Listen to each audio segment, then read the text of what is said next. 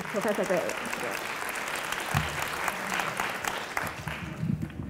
Thank you all. Um, what, a, what an honor to be invited here, and what an honor to have so many of you here. Um, I'm, uh, does everybody have a copy of the handout? I think they were on the chairs. Um, the front page of the handout gives uh, an outline of what I'll be talking about, and the back page is really there just so you can tell that I'm a professor.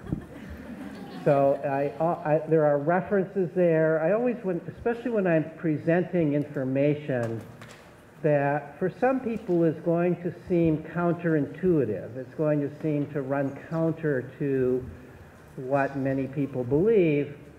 Then I really like to at least offer the opportunity for you to see some of the original sources, the data, the evidence that I'm talking about. So the title of my talk today is Mother Nature's Pedagogy, Mother Nature's Way of Teaching. Uh, how children's natural curiosity, playfulness, and sociability serve their education. So I'm an evolutionary psychologist, um, which means that I'm interested in human nature. I'm interested in uh, how our human nature came about by natural selection. And I'm especially interested in the nature of human children. Why are children the way they are? Children all over the world are the same. They are curious, they're playful, they're willful. They come into the world with certain characteristics. And why do they come into the world with those characteristics? And my basic argument is today is that children come into the world biologically designed to educate themselves. They have self-educative instincts. And if all, and our job as educators is to allow those instincts to operate, to allow them to educate themselves. We turn things around. We use the term education for something that we do to children. We educate children as if we are the active participant in the process. And the children are the passive participant in the process. They get educated. Education, the way we talk about it, is something that we do to children. And children get this thing that we give them. And what I'm going to argue is that's the wrong way to think about education. Education is something that children do for themselves and they will do it if we don't stop them from doing it.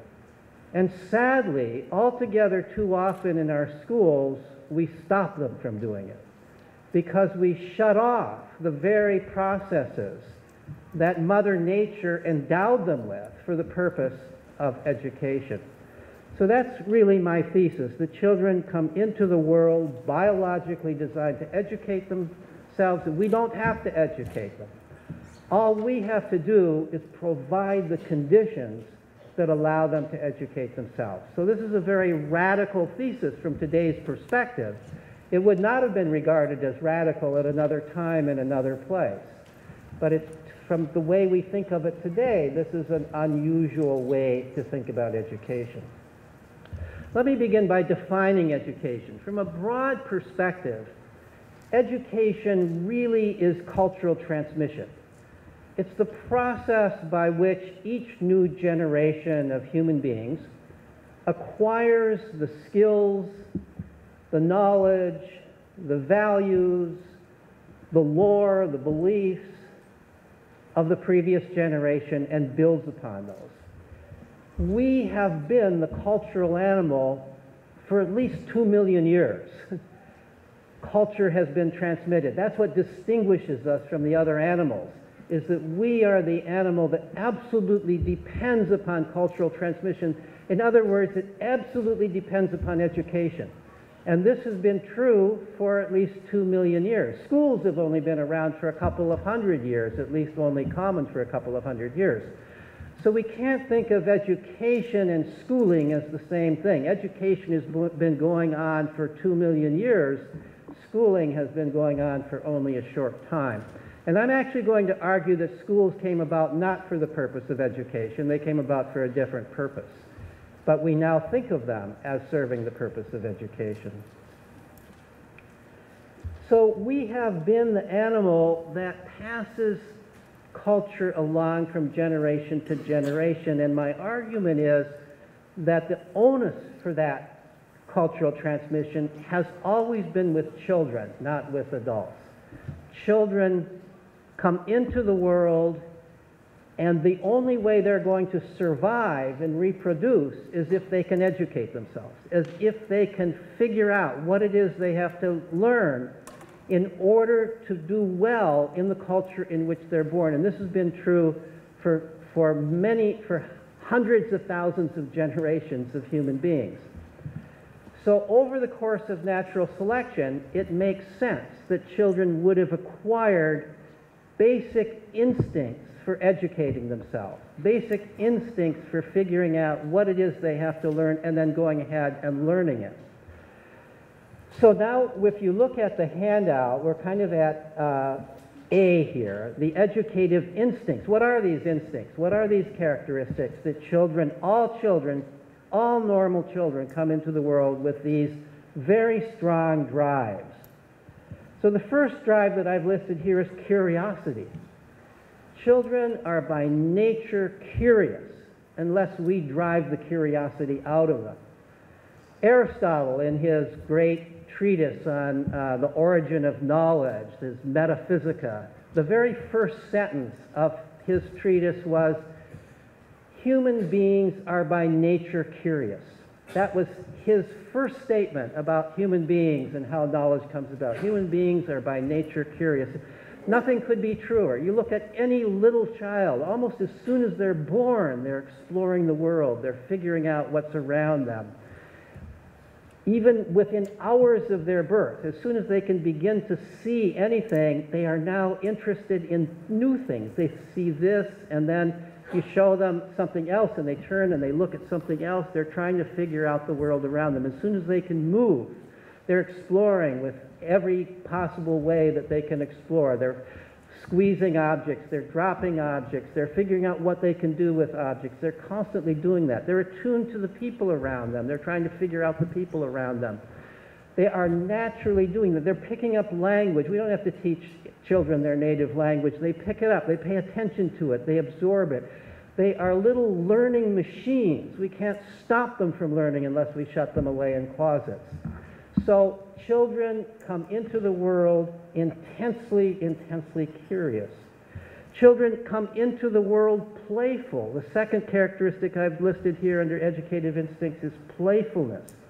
So curiosity is the drive to understand, the drive to figure out what's there and what can I do with that. What is the nature of the world around me? Playfulness is the drive to, to develop skills. Play, curiosity is how you acquire knowledge. Playfulness is how you acquire skills. Play is nature's way of ensuring that young mammals in general, but young human beings in particular, will practice the skills that they need to develop to become effective adults in the culture in which they are raised. Think of all the ways that children play, when children are free to play, when children have lots of time to play. They play in at all of the kinds of skills that are important for human beings to develop. They play in physical ways, and that's how they develop their physical bodies and how to move gracefully, and they develop strong hearts and lungs. They play in risky ways. They climb trees too high, and they swing high in swings, and they skateboard down banisters in our culture. They do all these risky things, and what are they doing when they do that? They're developing courage. They're practicing courage. They're practicing how to handle fear and control their body and their mind in a fearful state. All of us, at some point in our lives, are going to fear, are going to experience some real danger in our lives where we have to be able to manage fear. We have to be courageous. And so it's not surprising that in play, children practice that when we allow them to do it. They play with language. Listen, little children are acquiring language in a playful way. The very first cooing and babbling of babies everywhere is when they're in a playful mood. The first words in every language, in every language culture, the first words are always used in a playful context. The child isn't asking for anything. The child is playing with words. And as children grow older, they play in more sophisticated ways with language. They become little poets. They turn the language inside out. They, be, they develop rhymes and alliteration, and they begin to uh, play with the grammar. What would happen if I turned the grammar around? Listen to young children talk, and they are playing with the language. They play socially with other children. There's nothing that children want to do more than play with other children. But we are social animals. We have to know how to get along with one another. We have to know how to make friends. We have to know how to, know, know how to negotiate our differences. We have to know how to pay attention to other people and understand what their needs are. And that's what children are practicing all the time when they're playing with other children. They play at building things, constructive play. They play at whether they're building sandcastles or they're building with blocks or they're building tree houses or whatever they're building. We are the animal with opposable thumbs. We're the animal that survives by building things. So it's not surprising that children play at building things. Everywhere in the world they do that when they're allowed to play to, to their heart's content. They play games with rules. We are the animal that has to abide by rules. Every human culture has rules. And children are practicing abiding by rules when they're playing games with rules. And in fact, when I talk specifically about play in my talk tomorrow, I'm going to argue that all play has rules. In some cases, the rules are implicit rather than explicit, but children are always practicing abiding by rules when they're playing games. They play imaginative games. Play is, always has at least some element of imagination. Well, imagination is the key to all higher order human thinking. All of what we call advanced thinking involves imagination. It's the, the, our thought differs from that of other animals primarily in that we can imagine things. We can, we can talk about things that never happened. We can think of things that never happened. We can think of tomorrow. We, and tomorrow never happened because we can imagine what might happen tomorrow. We can think of alternative worlds. We can think of new inventions. We can think of things that are not immediately present. And children are always practicing that in the imaginative qualities of their play. Children play with logic, and I'll give some examples of that, uh, especially in my talk tomorrow. Children are in, in, when children are playing out a game, they're thinking, now what would have to happen next if this were to happen? And they're still they're thinking logically. And they play with the tools of their culture, and that depends upon what culture they're raised in. In our culture right now, children are playing with computers. Of course they are. Every child can look around and see that the primary tool of our culture today is the computer. So I better get good at computers. So of course they're going to play with computers. Children in hunter-gatherer cultures play with bows and arrows and digging sticks and knives and so on. Children in farming cultures play with agricultural equipment. They look around, they see what are the tools in my culture that I have to get good at, and they play at those things. Nobody has to tell them to do any of these things. They just do it naturally. We have to let them do it, though. We have to give them time and space and opportunity to do it, and that's how children educate themselves. When we, when we tell children what they have to do all the time, when we put them in schools and then after school they have to continue doing what they're being told to do, we are depriving them of all of this kind of play in which they are naturally designed to educate themselves in. So one of the ways, um, well, so that's, so that's play. A third characteristic, we're still now here on this list of educative instincts. The third characteristic that all normal children come into the world with is sociability. The strong drive to connect with other people, to make friends, to figure out what other people know, to want to be able to tell other people what you know. That's part of, that's part, uh, a basic part of being a human being. We are an intensely social species. We can't survive alone. We can only survive through our connections with other people. We all need help in order to survive. We all need the friendship and help of other people. We need to be able to cooperate with other people. Children, come into the world biologically drawn to other people. They want to learn what other people know, and that's one of their most important educative instincts. The special characteristic that we have for learning from other people, which no other animal has, is language. We can hear from other people about their thoughts, about their experiences, about their beliefs about the future. And even very young children, as soon as they can understand language, they're paying attention to what other people are saying. And they want to hear, they want to learn from other people. We don't have to force them to learn from us, they want to learn from us. They listen to us, they absorb what we're talking about, they ask questions once they're able to ask questions, and the questions are meaningful to them when they're their own questions. They're, of course, not meaningful when there are questions and we're forcing questions upon them, but they're meaningful to the child when it's the child's questions that are being asked. The philosopher uh, Daniel Dennett once pointed out that, um, let me just read this quote from him about the value of language. He says, comparing our brains with bird brains or dolphin brains is almost beside the point because our brains are in effect joined together by a single cognitive system that dwarfs all others. They are joined by an innovation that has invaded our brain and no others language. So the fact that all children learn language, essentially all children learn language naturally, and then they're using language to educate themselves. They're, pay, they're, they're listening to what people are saying, they're asking questions, they're engaging in conversations. So let me illustrate how these first three characteristics interact with one another in children's uh, education. And I'll illustrate it with an example of, uh, that comes from the work of Sugata Mitra. How many of you know, how many of you know of Sugata Mitra's work in India?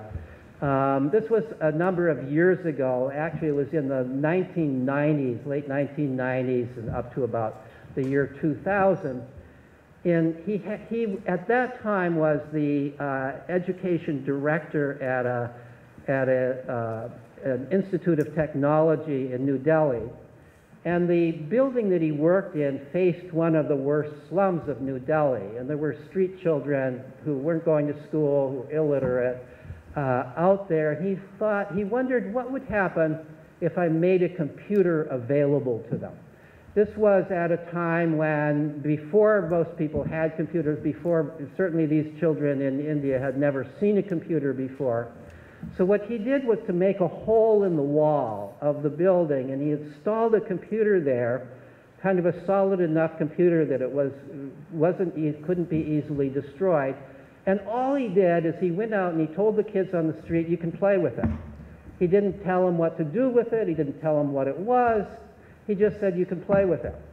And what he discovered was that within days, these children had figured out how to use the computer. They came and explored the computer, they figured out how to use it. Within not too long, he said there were at least 300 children who now were computer literate. Nobody had taught them a thing about the computer. They had learned it all entirely themselves. Now, let me bring the three characteristics of children to bear on how that learning occurred. So they came, they saw this strange object. It looked a little bit like a television set. That's probably the only thing they could relate it to. And they were told they could play with it, so they came and explored it. They were curious about it. They tried doing various things with it. This is what children naturally do. They try various things with objects to see what you can do with this object. And in the process, they discovered that they could open up, they, they found that, by moving their hand on a trackpad, they could get um, a marker on the screen to move. Wow, look at that. And then they found that if they clicked at a certain point, something would happen on the screen. They discovered over time, they've discovered, for example, the Mech Paint program and a drawing program, and they downloaded games and so on and so forth. That was, the, that was curiosity. Curiosity led them to do that. But then, once they they, once they had kind of figured out what they could do with it, then they began to play with it. So they would be play with the paint program. They would make pictures with the paint program. Or they would play with games that they downloaded. They would even just play at downloading stuff. What kind of what kinds of things can I download? What can I get here? So curiosity led them to discover what the computer can do. Playfulness led them to become skilled at using the computer. And sociability is what led one person's discovery to be everybody's discovery. So the children didn't play one at a time at the computer. The children would group around the computer, and one person would discover something, and then everybody would see it, and then everybody wanted to do it. And so there might be a group of, say, 10 or 11 kids. Maybe they would be range in age from 5 to 10 or 5 to 12. And they would all be excited about what they discovered, and then one of them would have a friend, maybe in another group, and he would go and tell the other group about that, and then they would come and do it. So the knowledge that was discovered spread like wildfire through the whole community of children. And what, um, what Mitra claims is that for, he then went on to set up other computers in various other parts of India. And what he claims is that for every computer that he set up and made available, another 300 kids on average would become computer literate.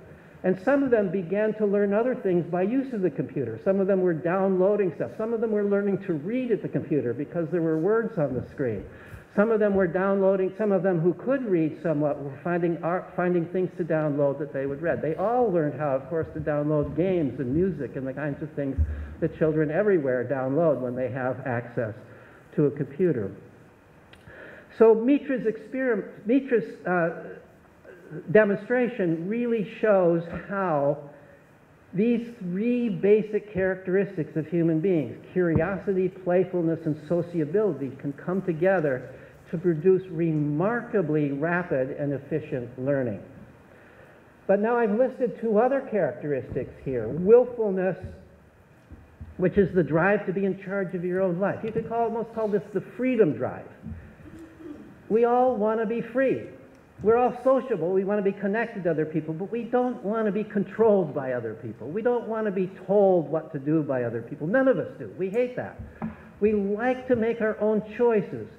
We might like advice from other people, but we want to, in the end, decide whether to follow that advice or not. And that's as true for children as it is for adults. That's true of people everywhere in the world. You want to be in charge of your own life.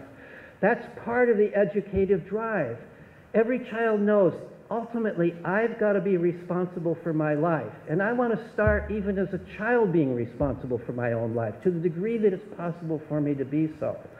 So, this willfulness, this, this feeling like, yes, I want to explore, but I want to explore what I want to explore, not what somebody else wants to make me explore. I want to play, but I want to play at what I want to play at, not what somebody else wants me to play at.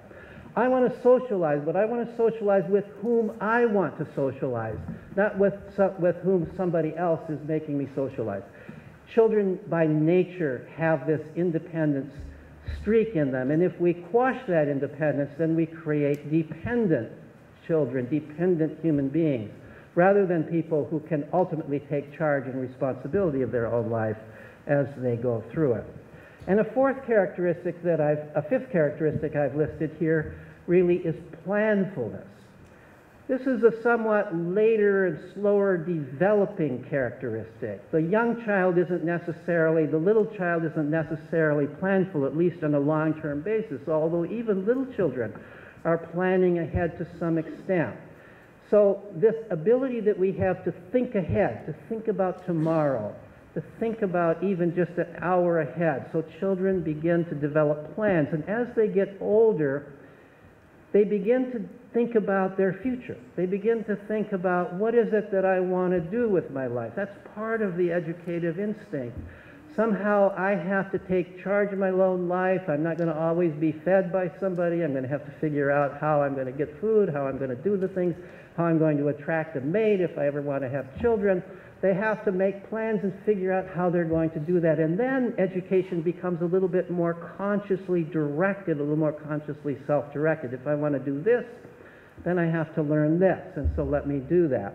And what I've observed is when children are free, they do that. They figure out what it is they need to learn to live the kind of life that they want to live. So I'm arguing that these five drives are part of human nature which all serve the function of education if we allow those drives to serve the function of education.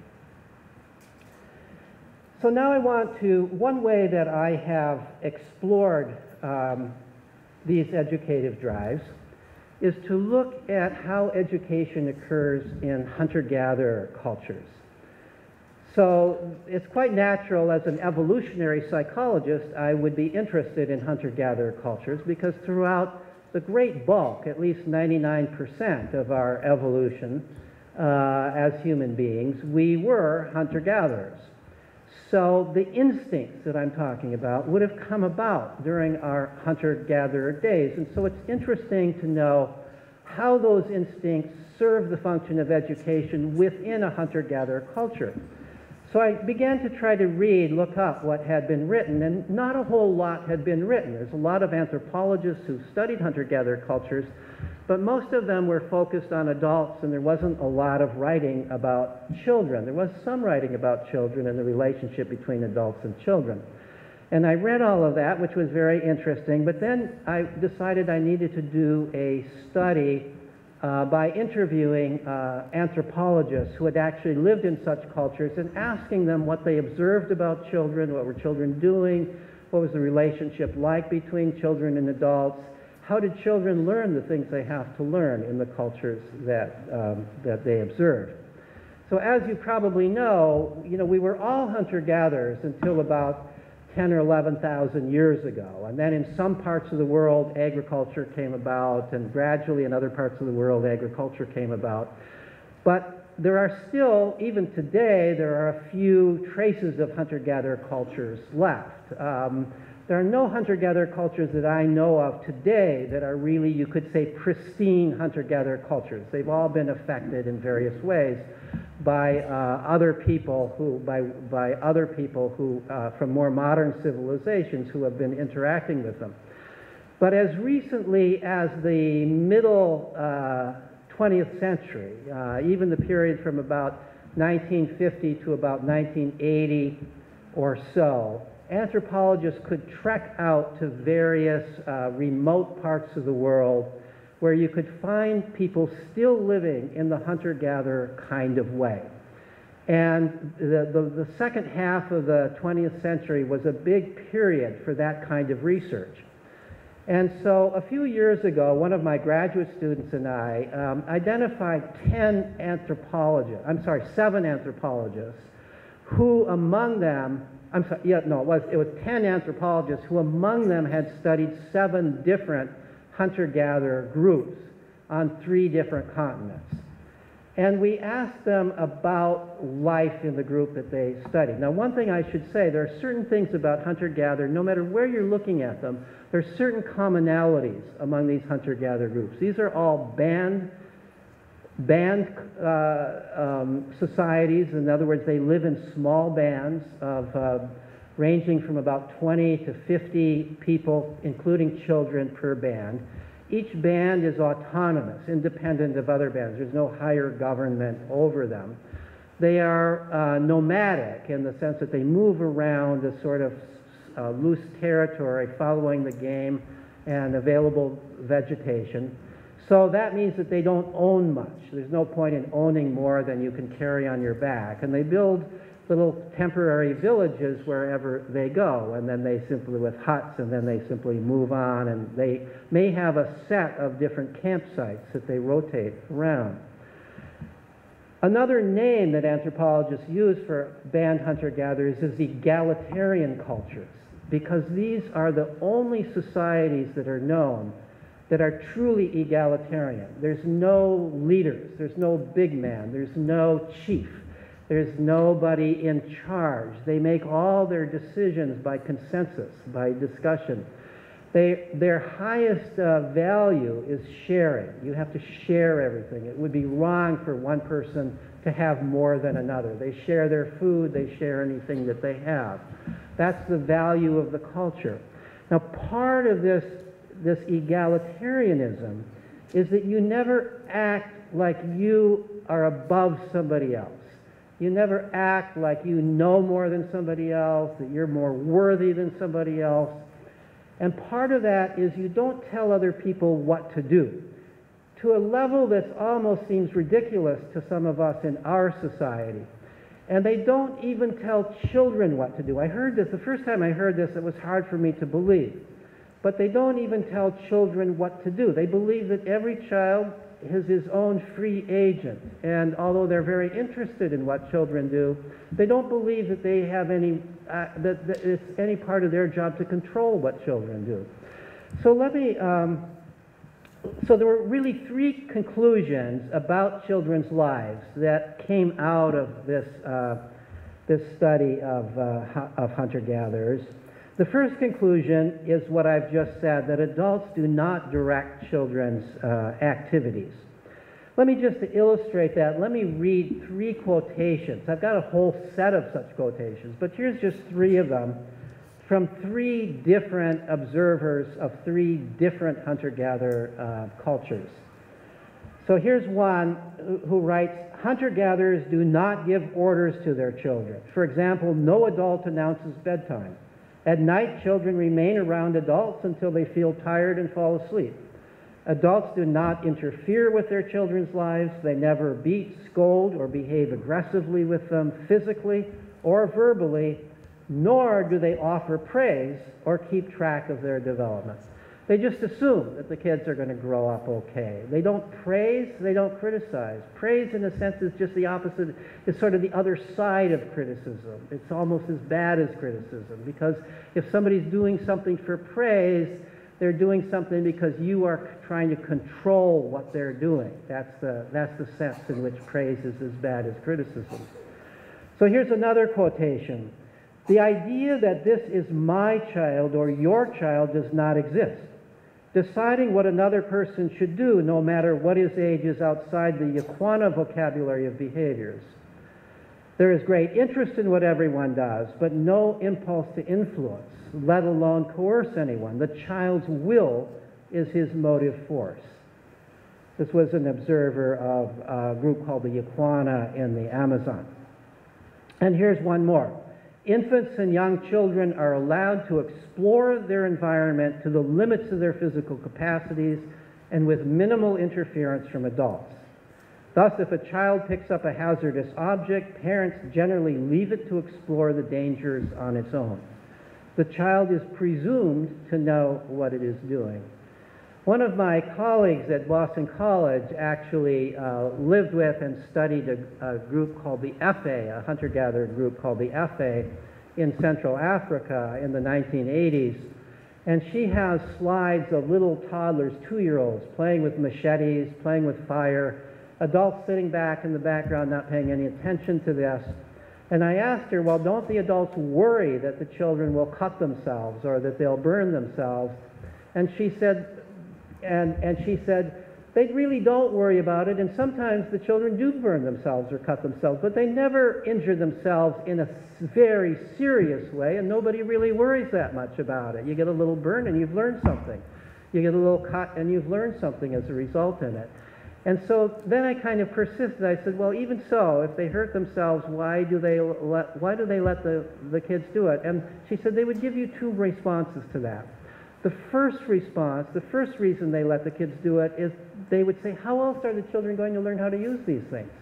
And the earlier they learn to use these things, the better. They become essentially an extension of the child's own body when they're beginning to use these tools at such an early age. So they would recognize the learning value of using these real tools of the culture, even if they're somewhat dangerous. And the second reason they would give is that what right do I have to stop my child? If my child wants to do it, that's his choice. Let him do it. Now, don't, don't get the impression from this that these are negligent parents. The poison darts are kept way out of reach. The things that could really kill the child are kept way out. No two-year-old would be playing with poison darts because they recognize that a two-year-old might make a mistake and, and, and uh, poke himself with that dart and would die as a result. But they make a different judgment than we make about what's safe and what's not safe and the, and the relative risk of doing some of one thing versus another. The second thing that I learned from this part of my study was that children, including teenagers, have essentially unlimited time to play and explore. Nobody expects children, even teenagers, to do much work. That surprised me. I thought maybe that kids would be expected to do a, a lot of uh, a lot of work, but they, they don't. And there's two reasons why not. One is, again, they believe that children, that people should do what they want to do, and it's only when you feel like you really want to start working and contributing to culture, and everybody eventually does want to do that. So they wouldn't order somebody to do something they don't want to do, and children just naturally want to play with other children and explore and do those kinds of things. And another reason is because they recognize that children need huge amounts of time to play, explore, socialize in order to develop the skills that they need to become effective adults. Just as I said at the beginning, these are the instincts that allow children to acquire the culture, to become educated, and hunter gatherer adults apparently recognize this. So they understand that children need essentially full time to play and explore. One of the questions that I asked in that survey of the anthropologists was for the children that you observed in the culture that you observed, how much time every day were they free to play on their own? And essentially the answer was all the time. So here's just a couple of quotes. Both girls and boys had almost all day, every day, free to play. And here's another quote from a different group. Children were free to play all the time. No one expected children to do serious work until they were in their late teens. This happened to be Karen Endicott concerning the Batak of Indonesia. So here we've got a culture where adults are not ordering children around, they're not scolding children, they're certainly not beating children, they're not scolding children, they're not nagging children, they're letting children do what they want to do, and what the children want to do is play, and that's just fine, and that's what the, that's what the children do, and that's how they grow up.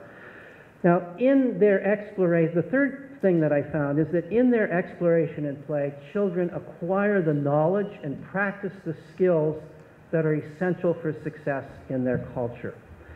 So children play in all the kinds of ways, those ways that I listed at the beginning of the talk. Children in hunter-gatherer cultures are playing in all of those ways. And as a result of playing in those ways, they are acquiring all of those kinds of skills that people have to acquire in every culture.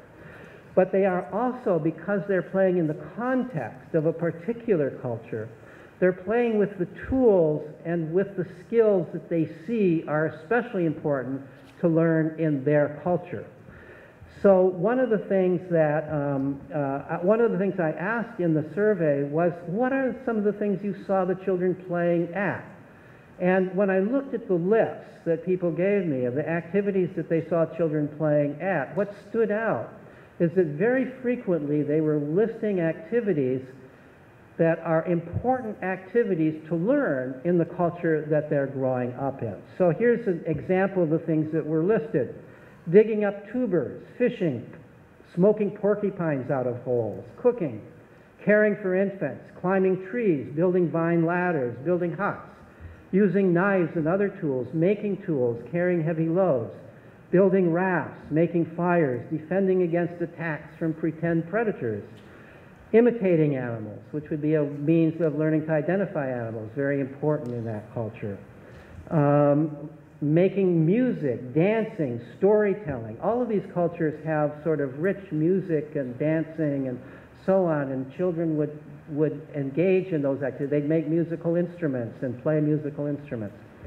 Um, and, um, and many, and some of the anthropologists said that they would playfully argue and that's interesting to me because remember, this is a, these are cultures that make decisions by consensus. Sitting around the fire at night, the gr- whole group decides when it's time to move on, and if there's going to be any rules for the society, they make those. So the ability to get your point across without antagonizing other people is very, very important in that culture. And some of the anthropologists said that the children would deliberately practice that. They would in, in one of the cultures, the children would build, whenever the adults built a, a new little village, a temporary village of huts, the children would build a play village some distance away, out of earshot and eyeshot of the um, main village. And they would rehearse, they would practice what they saw around the fire the night before. And if some adult had been particularly ineffective in arguing, they would mock that adult. They would be even more ineffective. They would get even angrier than he got angry. And they would then all be hysterically laughing at that clownish adult who couldn't make a who couldn't argue in an effective way. And then they would sort of practice arguing in a more effective way. You know, perfect kind of practice of a skill that's very important in that culture. And here's what I have to keep reminding you of nobody's telling them to do that. Nobody is instructing them to do it. Nobody's praising them for do it, doing it. They are doing it because they see this is something that's important in the culture that we are growing up in. And that's, that's true of all of their, all of their play. Not surprisingly, the boys in these cultures played endlessly at hunting and tracking. Tracking is extremely difficult. Hunting is extremely difficult with the means that they have to hunt. And so it takes an enormous amount of practice, and they would practice in, continuously at that. Uh, the one culture in which women also hunt, the Agta of the Philippines, women also hunt. In that culture, not surprisingly, the girls also played endlessly at tracking and hunting right along with the boys. So apparently what happens when you're born in a hunter-gatherer culture is you pay attention to what the people in your culture are doing and you begin to you play at those activities. You play at the activities that you know you've got to be good at to become an effective adult in that culture. All right, now at this point, we have to ask the question um, what happened? What changed? How did we go from this world where children were free, learned in their own way, played, explored, were joyful? The other thing I can say that, I, that essentially every one of these anthropologists said was that children were remarkably happy. They were remarkably well adjusted. You would never see anything like depression or, or anxiety in a child. One of the anthropologists said, These were the brightest children I've ever met in my life and also the most friendly children I've ever met in my life. They're not spoiled kids, even though you would think that this sounds like they're spoiling the kids because they're letting the kids do what they want to do. But these are not spoiled kids. These are kids who are growing up in an environment where you wouldn't survive if you, if you didn't know how to take care of yourself. There's, they're, they're, at minimum, they've got bug bites, they've got diseases, and so on and so forth, and they have to be tough and resilient to survive all of that. And the argument is that part of what they're learning in play is how to do that, how to be, how to be resilient, how to take care of yourself, how to deal with difficulties, and to deal with difficulties with good cheer rather than with constant complaining. One of, uh, I, was, I once gave a talk um, about um, hunter-gatherers to a group, and a, and a young woman who was a graduate student uh, came up to me afterwards, and she said, I'm studying whining, and I have this theory that children all over the world whine in the same way. And I'm wondering if the hunter-gatherer children um, whine in this way. And then she showed me how, voiced how whining sounds. And so I said, well, I don't know. That's not something I asked. I've never lived in a hunter-gatherer culture. I don't know. So I went, when I went back to Boston College, I asked my friend Gilda Morelli. She's the one who had studied the Efe. I said, what does an Efe child's whine sound like? And she thought for a minute, and she said, you know, I lived with the Efe for what amounted to about a full year. I saw all these children. I never saw a child whine. I never saw a child whine. It's almost unbelievable, and yet this seems to be this seems to be the way that children through most of human history were growing up. So what happened? What happened is agriculture. Agriculture came along and it changed the way that people have to live. It certainly led to some improvements. We now had a more steady supply of food. You didn't have to depend so much on uh, the natural world. It allowed people to be more sedentary, which had its good things, but it also had the harm of it. You could now begin to accumulate wealth. And now, once you're a farmer, you have to own the property that you live on. You now have property ownership. And once you've got property ownership, you now have distinctions between those people who own the property and those people who don't own the property. And the people who don't own the property are now dependent on the people who own the property. And so now you go from what was an egalitarian environment to a hierarchical environment where some people are in charge. The people who own the property can profit by hiring at low wages or by enslaving other people to work on their farm. You also begin to have bigger families. Hunter gatherers have very small families because, with that way of life, and you're very lean, and they're nursing each child for about three years. And when you're lean and nursing, you don't ovulate until uh, that finally wean that, that last child, that, the previous child. So births are spread out. People don't have big families. In the farming community, they began to have bigger families. People had put on more weight, they, they, they, and they didn't nurse as long. And so people began to have big families. You now had the situation where you needed, because you had bigger families, you needed your children to work the farm. you needed children to help with the farming. You needed the older children to help take care of the younger children. You now couldn't just let the children play and explore. But you also now were in a world, and as this spread along, we eventually reached, you know, to reach the pinnacle of this, we, came, we reached feudalism, feudalism throughout Europe and throughout Asia, where only a few people essentially owned all the land.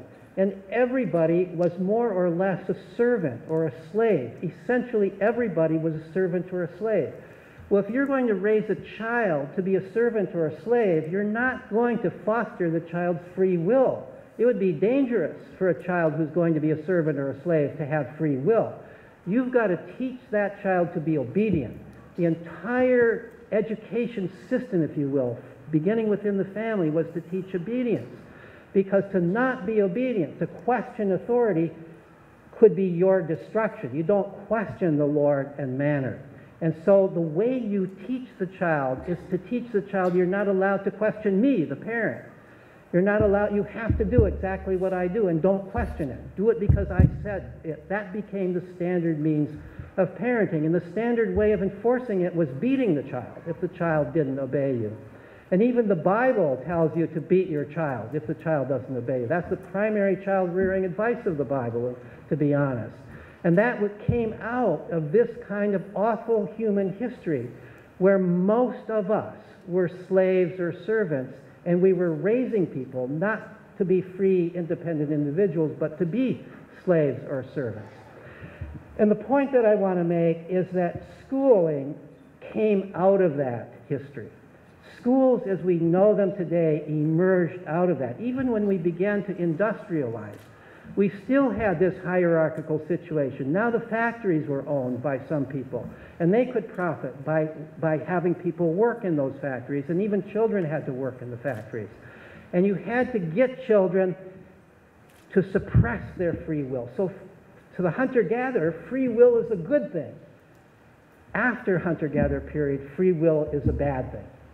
And so suppressing free will became the goal of education it became the stated goal of education, not just the, the secondary result of education, but the actual stated goal of education.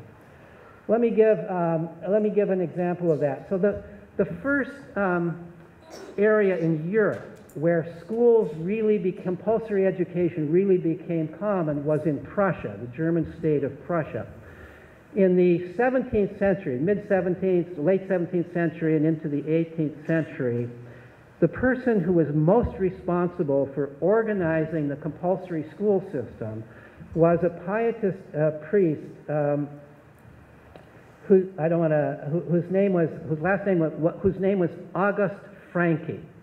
Now Francke's view of education was um, let me just get my notes here. Francke was very clear on, his, on the purpose of education. Part of the purpose of education was to teach children to read because they were in a society where many people didn't know how to read. And they believed that it was very important to be able to read the Bible, that everybody, these were, these were among the, this was during the Protestant Reformation period. And everybody believed within this movement that it was important for people to be able to read the Bible, not to get it secondarily from the priests as you would if you were a Catholic, but to read the Bible directly. So, the, so part of the purpose of schooling was to teach children to read, but even more important than that was to teach children to believe unquestioningly the words of the Bible.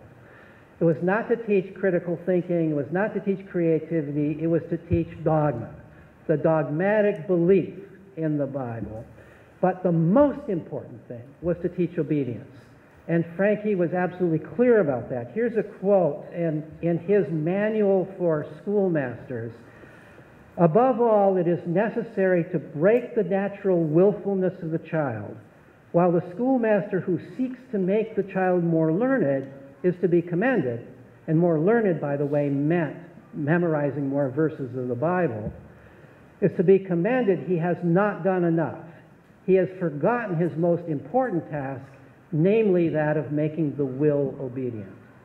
So, whereas hunter gatherers fostered the child's will, schools were developed explicitly to break the child's will. That was the purpose of them.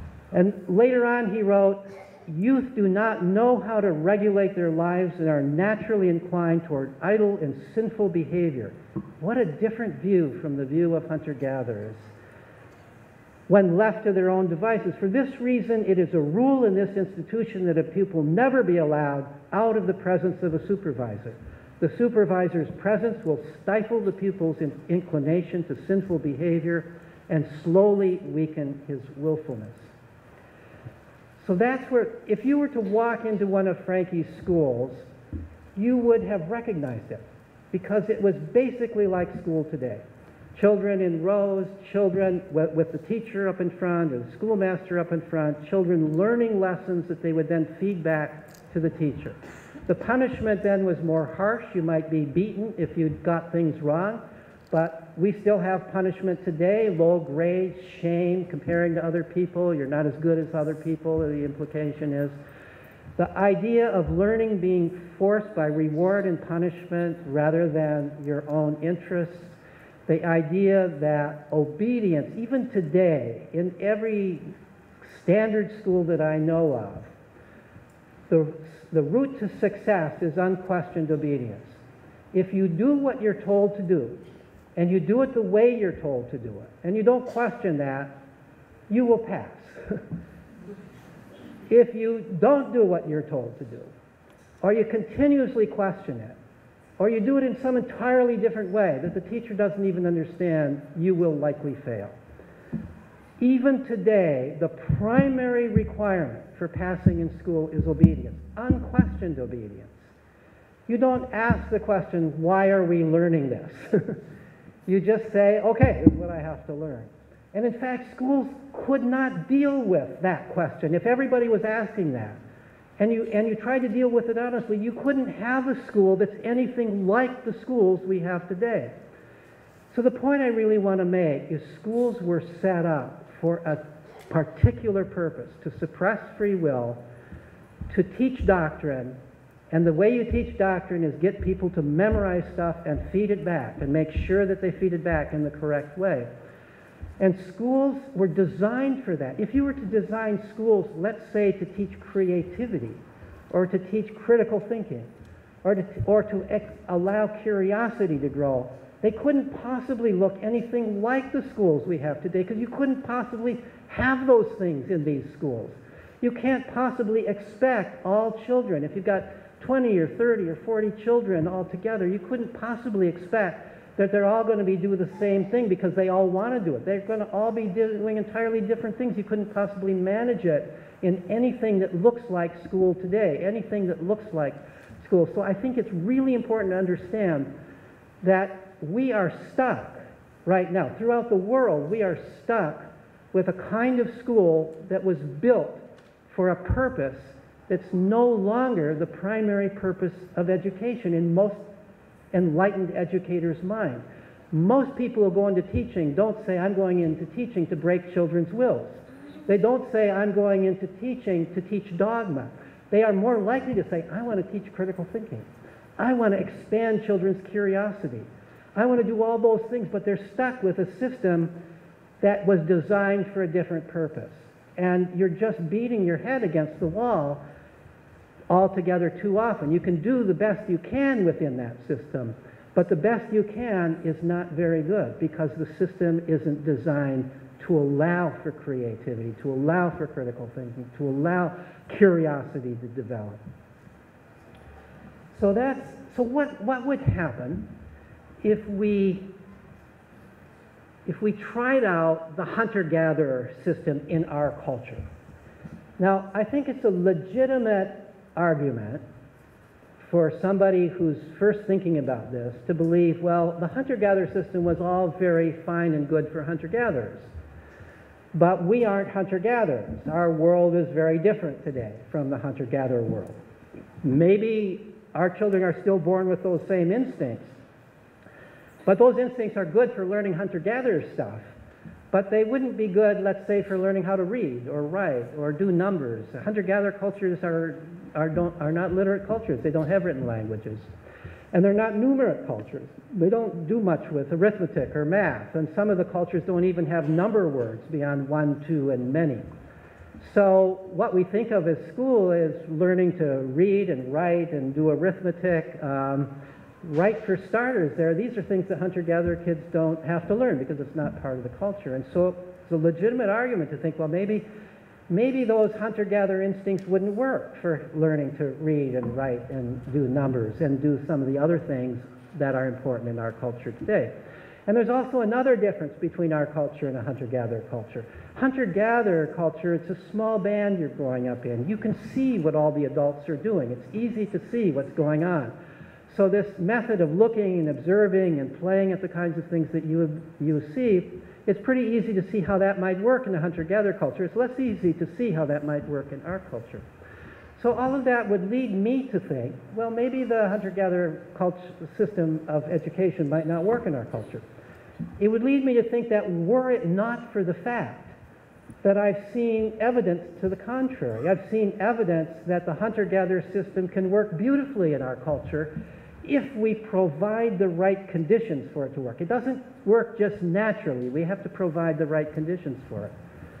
And so that's the kind, that's the research that I've done at, um, the primary place that I've done this research is, is at a school called the Sudbury Valley School that's in Framingham, Massachusetts. Um, and some years ago, I got very much interested in this school and began to do research there. And it really that's really where my, um, my orientation towards education just got turned upside down. I was very much a believer in the traditional system of schooling. I was a product of that system of schooling. Uh, my parent, my mother was a teacher. I grew up in a, I still have a sister who's a teacher and so on in a regular school. So I was just amazed by what I observed at this particular school called the Sudbury Valley School. So let me describe this school. This school was not set up with the idea that we're going to emulate a hunter-gatherer band. It was set up with an entirely different idea in mind. It was set up by people who are strong believers in democracy. And they believed that if, uh, if, you're, if you're raising children in a democracy, as America purports to be, then you want to raise children in a democratic environment. So they will grow up experiencing all the rights and privileges and the obligations of being a citizen in a democracy.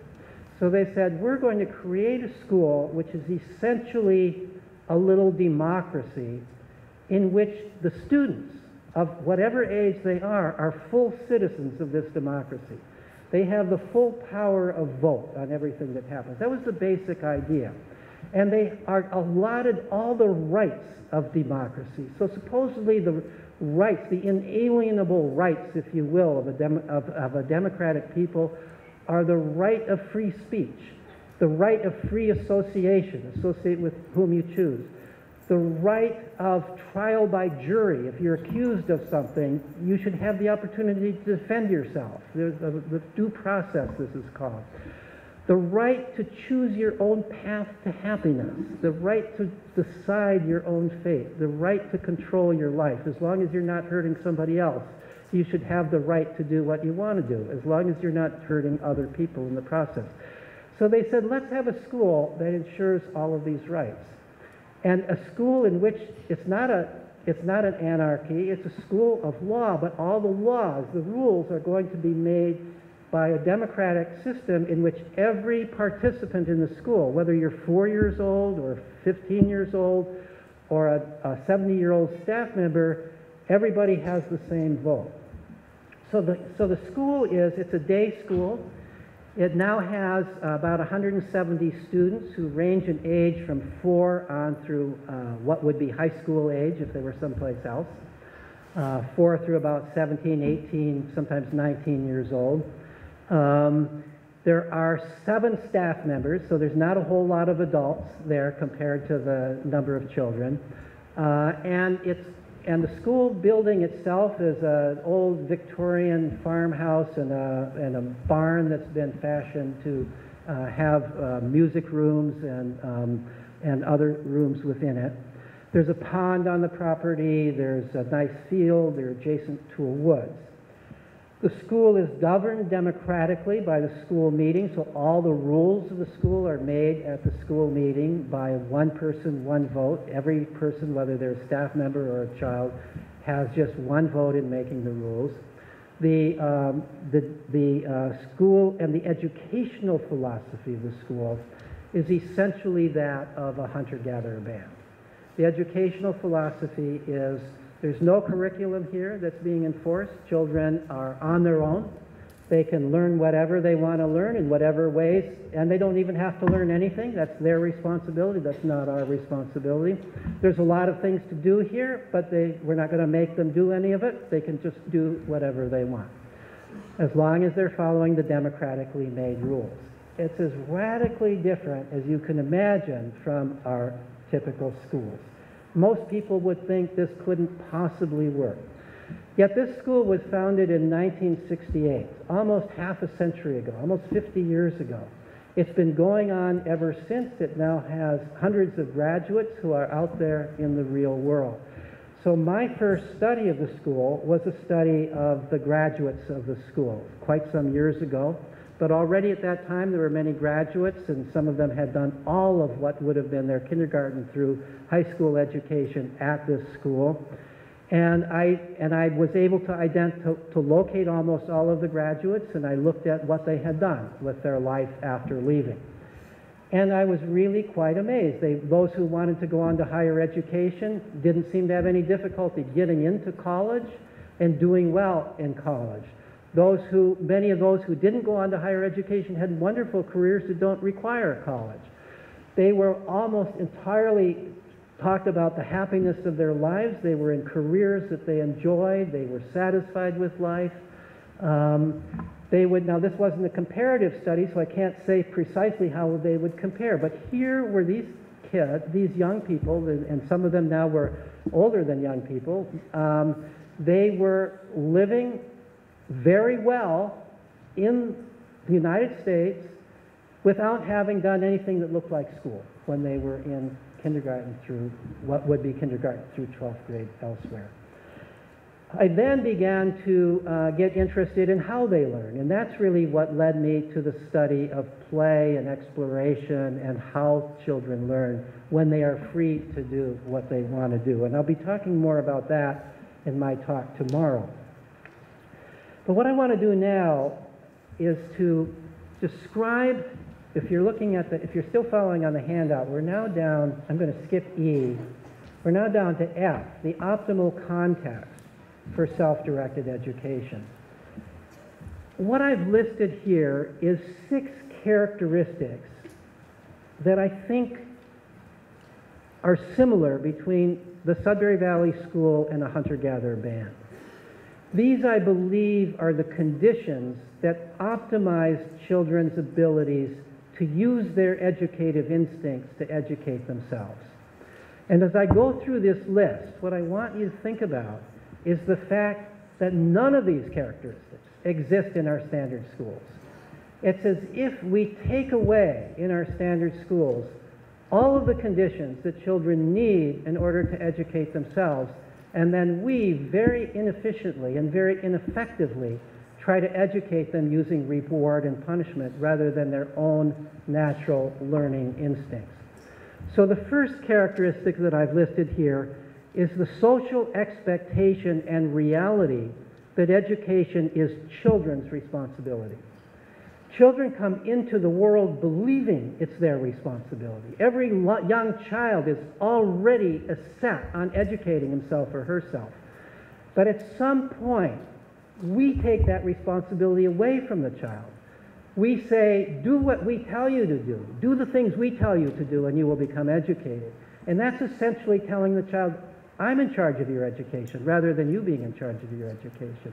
And then it becomes a self fulfilling prophecy that the child gives up the sense of responsibility for his own education and begins to think, okay, I just have to do what I'm told to do. So that's the first criterion that there not be any pretense that adults are educating you. Simply under, continue with the idea that this is my job to educate myself. That's the first characteristic. The second characteristic is unlimited freedom to play, explore, and pursue one's own interests. Not an hour a day for this, not two hours a day, not three hours a day, essentially all the time.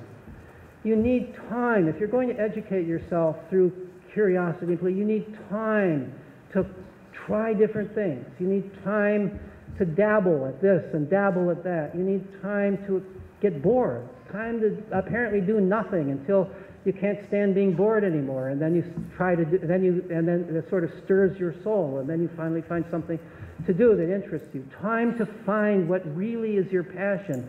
And then once you've found that, time to really delve into it.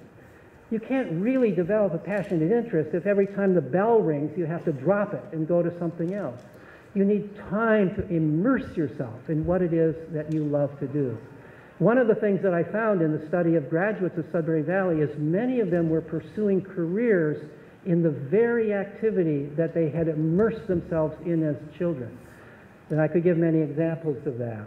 But just as one example, there was one, one uh, woman who was captain of a cruise ship. This was her dream job. As a little girl, she had played with boats in the pond, and she became fascinated with boats. She learned all about boats, and she, by the time she was a teenager, she apprenticed herself to a ship captain. And so by the time she was ready to leave the school, she was practically ready for her dream job of being captain of a ship herself. And I could go through many such examples of that. I would say that about half the graduates of the school were pursuing careers where there was a very direct line between what they had discovered that they really loved to do in play as children and what they were now doing as adults for their career.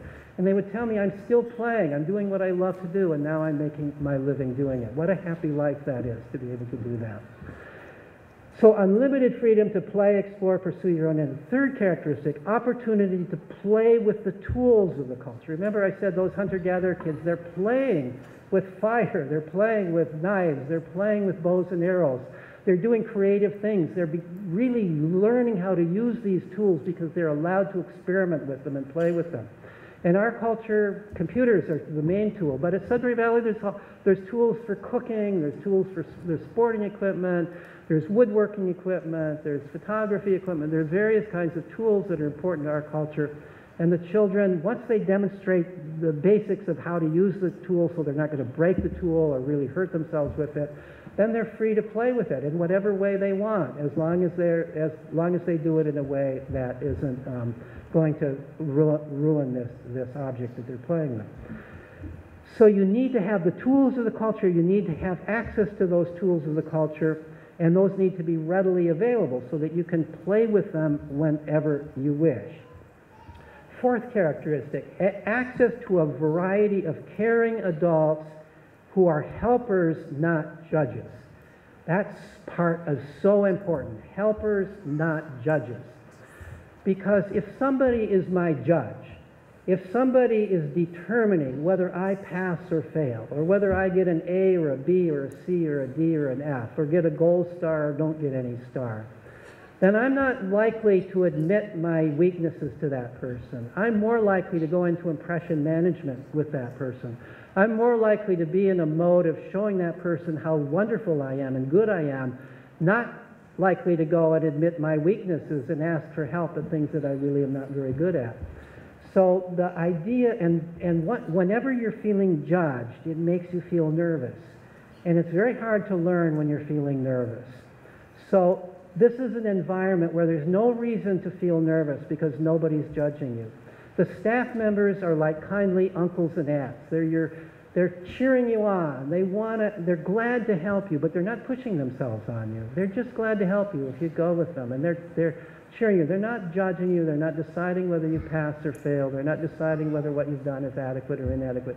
If you go and ask them, you know, so what do you think of this essay I wrote? And they'll say, well, do you want my honest opinion? And, and yeah, I want your honest opinion. And they'll give their honest opinion. So if you're asking for help of that sort, they'll give it. But they won't volunteer. They don't come and say, I want to see a, a, uh, an essay that you've written so that I can judge it. So the fifth characteristic, and this is what I'm going to be talking about in the workshop this evening, so I'm not going to elaborate on it today, but I think this is the most important characteristic free age mixing among children and adolescents. One of the worst things we do in our schools and in our society generally is segregate children by age. Throughout human history, children always played in age mixed groups, and younger children always learned from older children in the context of play. And older children learned how to be mature and responsible and leaders by helping younger children. This was part of growing up throughout human history, and now we've made that so difficult because we segregate children by age. We don't have as big families as we used to have, so even within the family, there's not a big spread of ages. And we don't have extended families the way we used to have. And in schools, children are segregated, and increasingly, even out of schools, children are put in age segregated groups out of school. So in the workshop, I'm going to be talking about um, the value of age mixing. This, the person who founded Sudbury Valley School has long said that age mixing is the key to how education works in this kind of a setting. If everybody was the same age, or you segregated children by age, it wouldn't learn. It wouldn't work. Kids wouldn't learn anything. Because the younger kids are learning so much from the older kids, and the older kids are learning so much by, by, uh, by the fact that the younger kids are around them. Uh, and then the sixth characteristic I've listed here is immersion in a stable, moral, democratic community. I think this is, this is, I used to omit that one. I used to talk about just five characteristics. But the more I think about it, the more I think that's a, an important part of it. Immersion in a, in a stable, moral, democratic community. A hunter gatherer band is a stable, moral, democratic community where decisions are being made by the whole group, where you kind of know if you're growing up in this, in this band, you are at some point going to be responsible for making decisions. You're growing up with a sense of responsibility not just for myself, but responsibility for the community that I'm part of. And children at Sudbury Valley School, because they're making the rules in the school, they're involved in the judicial system in the school, and they get to know one another very well, are growing up with a sense of caring about the other children in the school and about the school itself. And many of the graduates of the school that I've talked with said that one of the greatest that's one of the greatest lessons that they've learned. And now when they go out as adults in the world, they have this same sense of caring about the world, the larger world, in which they are now citizens. They feel that it's their responsibility not just to make their own life good, but to try to do things that will help make the life of everybody in the community better. So those are the characteristics that I think that are really important if one wants to design the ideal environment in which children can educate themselves through their own um, self-educative instincts. Now let me, in conclusion, let me just say in G here, this idea that the next civil rights movement, I believe and I hope, is going to be to liberate children from coercive schooling.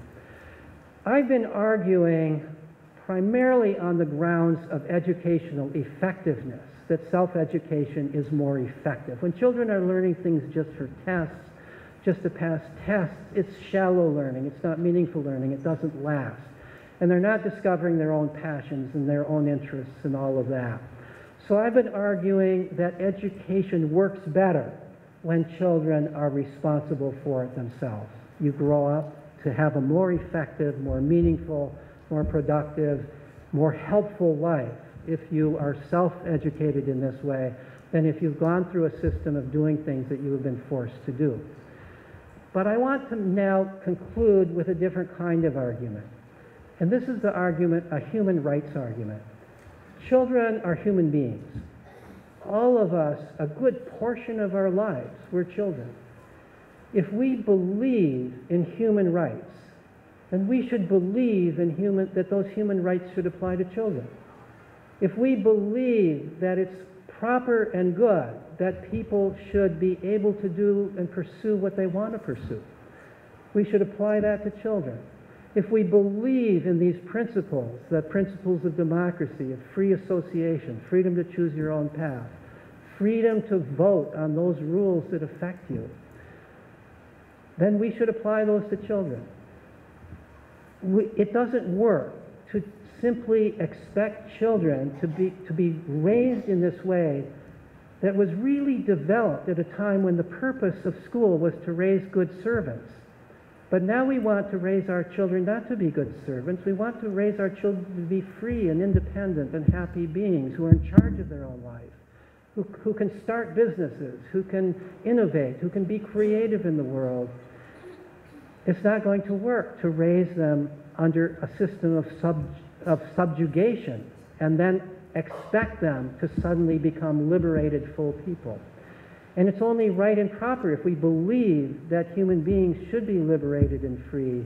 It's only right and proper that children should be too. And so I'm going to conclude with that and thank you very, very much for your kind attention to.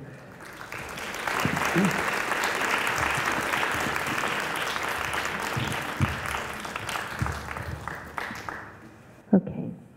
Um, thank you very much, uh, Professor Gray, for a very inspirational uh, talk. And I think uh, many of us would agree, especially in your conclusion remarks about uh, it speaks out uh, a lot of the parents, I mean, the origins, you know, the the hinge or the niche of, you know, having a kid. When you ask parents in Hong Kong, most of the time, uh, they would say, oh, I want my kids to be happy, healthy, and be able to do what they want to do when they grow up. And I think you spoke really well, you know, about that part. But then one point that uh, throughout the talk that really haunted me is when you talk about when we put our kids in school, it's really we uh, depriving them from uh, free will. Um, and so I think I, as a parent myself, you know, um, it, it, kind of, you know, feeling uh, sad to about that when you think about it, and also and as as an educator and practitioner, uh, I think it gives us a lot of um, thought, you know, about this part. Uh, I, I, know um, you mentioned about uh, a lot the Sudbury School, and uh, I also know uh, in Hong Kong there's a group of uh, parents also have started that. And because before the talk, we have received a, a, a, list of questions actually, you know, from the participants here, over 50. So it just caught my attention about there are actually um, two questions. One is related to uh, the play that you mentioned about, uh, about play school. One question was that, uh, is that um, what would you feel uh, about, you know, changing, about the term play school to replace preschool, kindergarten, and nursery school worldwide in early childhood education and care? Um, yeah, I mean, at minimum, uh, the early education should be play school. And why not call it play school? Um, you know, it used to be in the United States, um, kindergarten was always play. It wasn't necessarily called play school, but what does the word kindergarten come from? It's a garden for children, a garden for children to play in. Uh, over time, kindergarten has become uh, a place in the United States where there's relatively little play, and it's very, very sad. In fact, there's even research showing that even by standard academic testing, there's no value whatsoever in academic training in kindergarten. that uh, if you if you have there are study there are experiments done where you compare well-controlled experiments where you compare kindergartens that are just play kids just play in kindergarten versus kindergartens where there's academic teaching of the basic skills underlying reading and arithmetic and so on. Not surprisingly, when you test them at the beginning of first grade, the kids who've had that academic training are better at those tests in first grade, at the beginning of first grade. By third grade, by second grade, it washes out. By third grade, it's completely washed out and sometimes reversed. Whereas those kids who were just playing in kindergarten are now actually better at reading and arithmetic than those kids who are already being trained at reading and arithmetic back in kindergarten. This whole idea of an early start is, has been disproved in experiment after experiment. And, but nobody pays attention to those experiments. Everybody has this idea the sooner I start training my child, that's going to give my child a head start and they'll get into a great university because I already started teaching them when they were three or four or something. That's simply not true. That's simply not true. And the, the research shows it's not true, so we, and we just ignore the research there. So clearly, early schools should be play schools. Why not call them play schools? I'm arguing that all of school should be play, right? All of school should be play. It should be play and exploration, and that play and exploration becomes more and more focused and deliberate as children grow older and they begin to plan what it is that they want to learn. It's not always completely play, that's a little bit false, but it's completely self-chosen. And, and to the degree that, that play is defined as something you choose to do, that you want to do, uh, to that degree, it continues to be play. Okay, uh, thank you. And uh, in, in response to that, I have also had uh, parents ask about, oh, I uh, enroll my children into like some uh, extracurricular activities, and I think like to some parents, you know, they will they will argue, okay, those are also play for them. How how how would you respond to those parents? Yes.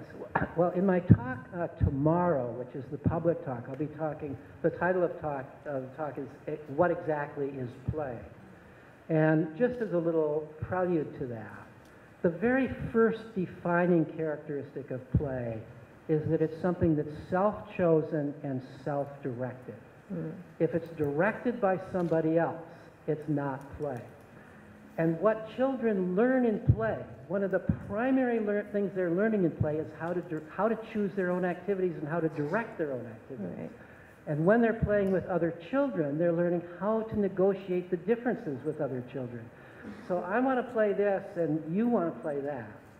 So we have to talk it out and Right. figure it out. If there's some adult here doing that for us, we're not learning how to negotiate. The Mhm. adult is telling us how to do it. And so the, the, the key thing, many of the key things that children are learning in play are taken away when it's, when it's an adult-directed activity. Thank you.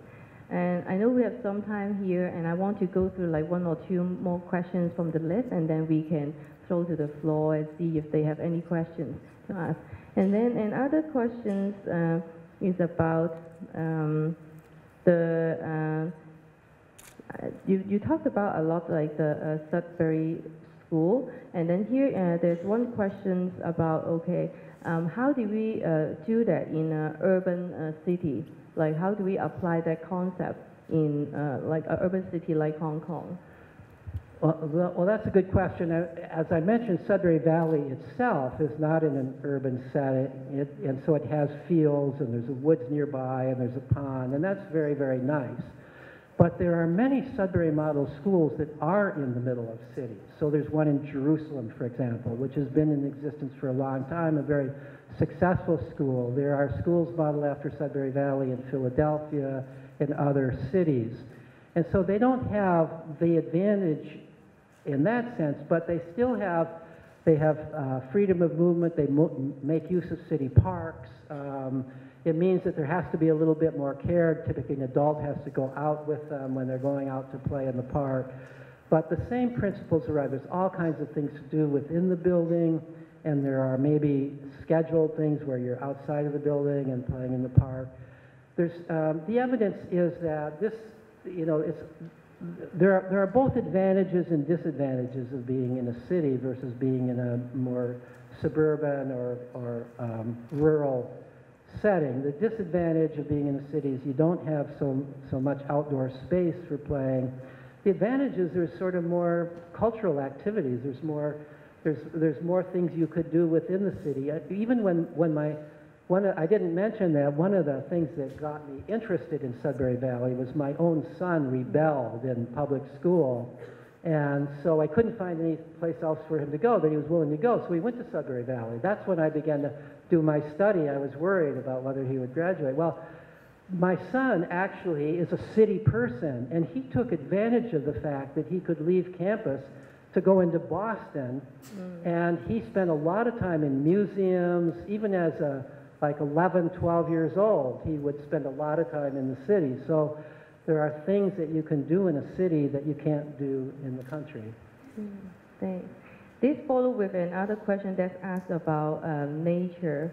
Uh, it asks about um, whether like just the uh, not like you know literally leaving the child in the nature, but like uh, playing in the na- nature. You know, how is it gonna help a child? how, how playing in nature helps a child. Yeah. Well, you know, I think that, you know, there are people who argue that playing in nature is especially important, and I do think it's important.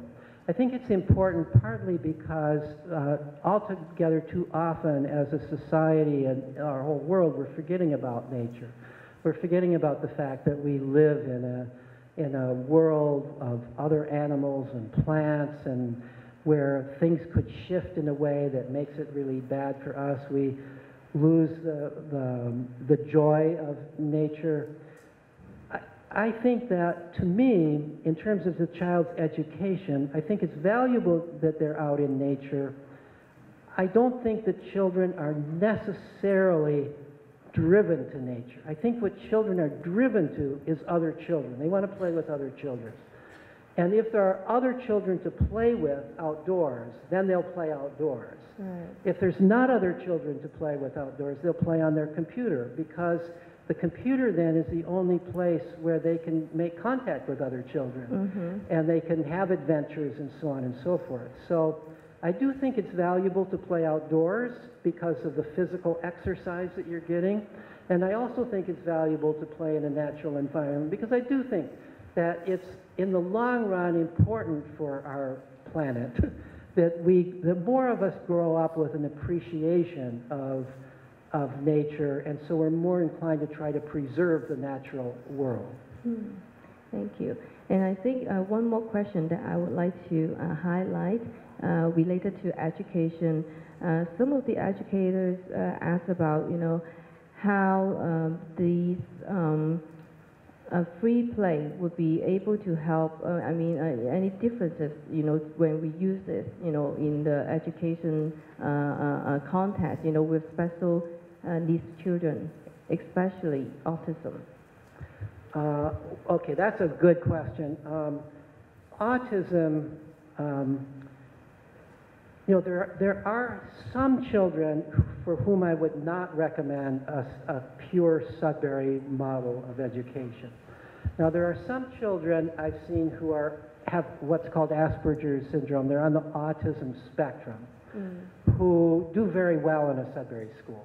And in fact, I think it's good for them because they are drawn out by the other kids. They become more sociable. One of the characteristics of autism is that you don't make connections with other people very easily. And if you are fa- so far out on that spectrum that you just really have no interest in other people, you just don't make those connections, so far out that you don't even learn language because you're not attuned to the language that other people are using, then I think you need special education. You need somebody who really knows how to work with somebody who has that degree of autism. But there are some kids who get diagnosed as being on the autism spectrum who in pre past years would have just been regarded as a little quirky. they wouldn't have been given a label.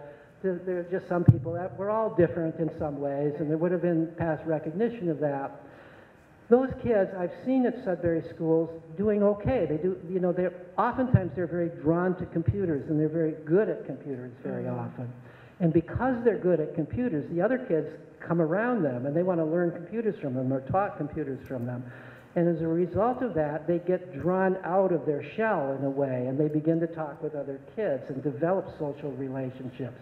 And maybe they even get drawn outside by some kids, especially little kids will get, say, you know, come out and give me a piggyback ride. And they'll begin to interact socially in ways that they wouldn't otherwise. This is one of the ways in which age mixing plays a really valuable role. For people, whether it's because of autism or because of any other reason, who have some kind of social limitations, they aren't so good at knowing how to get along with the people. Little kids can really draw you out. and so, um, and I've seen cases of that where kids who come who are very socially inhibited, the little kids want to play with them and they're just delighted to be playing with these bigger kids. And then that gives you a feeling that, oh, I really enjoy playing with this little kid. And then you begin to sort of work your way up and playing even with kids who are closer to your own age. Thank you so much. Well, before I uh, turn to the audience for questions, I know a lot of us uh, uh, come to the um, Education Fest also interested in uh, learning more about uh, alternative uh, education. And I know there's a group of parents in Hong Kong have also started uh, Sudbury School. Uh, I know they have also uh, prepared some questions to ask. Uh, maybe I turn to them for a question or two, and before we turn to the audience for the other questions. I, I was also wondering, like, um, you said basically the things that you're, um, that that you're saying that we should do uh, to educate children, or uh, rather them educate themselves, um, is uh, conducive to the Sudbury method. So, what are you saying? Basically, that Sudbury is the only way to go, um, or that there's some way that we can uh, change the current schooling systems? Yeah, well, that's a, that's a really good question. I think that, um, that, um, so Sudbury, I, I, I present Sudbury Valley as, in my opinion, the ideal. I think that this is a situation that has all of those characteristics that I just described. I think that it's very difficult to develop a compromise. And the reason it's difficult to develop a compromise, I mean, this is what the history of education, at least in the United States, is this. So we've got these standard schools, and there's a period of time when people want to make them more progressive. You want to have a little more choice, a little more freedom in the school, more play in the school. But you're still testing the children. you're still testing them, and you're expecting them to pass the tests. Well, you find that you give them more time to play, and they're learning a lot of stuff, but they're not necessarily learning the stuff on the tests, right? And if you think passing those tests is important, then you're sort of now going to be a force that says, hey, wait a minute, test scores are going down. Some kids aren't learning how to read until later on. We've got to start pushing the pendulum back this way. So I think it's difficult to compromise. I think unless you give up the idea that you're testing children all along the way, then it's hard to give up the rest. the whole age segregation is partly based on testing. Everybody's supposed to be learning first grade stuff in first grade, second grade stuff in second grade. It's an assembly line process. So testing is what drives the rest of it. And so the first and most difficult decision that people have to make if they want really self-directed education is I'm not going to test the children. I'm going to trust them. I'm going to recognize that different children learn different things, and that's good.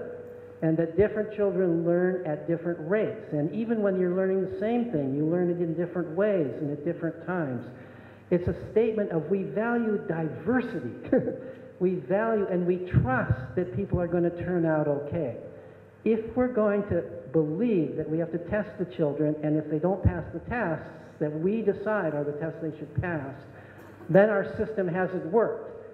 If that's, if that's what we have, then I think that I think that we're just stuck in that pendulum.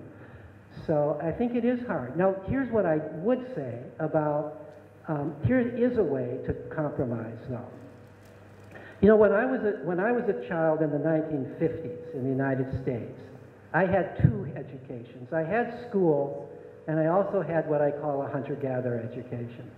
And the reason I had both educations is because school didn't take that much of my time. So the school year was much shorter than it is now. The school day was shorter. There was no homework, certainly not in elementary school. There was a little bit of homework in high school. So kids were free to play and explore in age mixed groups, away from adults, all the time they weren't in school. After school, during the summer, during, you know, during weekends. So more of my time was spent in uh, hunter-gatherer education, out there with other kids, doing stuff in our own initiative, fishing, doing all kinds of things, getting into trouble, figuring out our way out of trouble, getting into fights and getting out of fights, doing all the things that kids do that they learn from. We had at least, we had more than half of our lives to do that. So here's what I think if one is not ready to do away with schools as we know them, let's reduce them. Instead of continuously expand them, let's shrink them.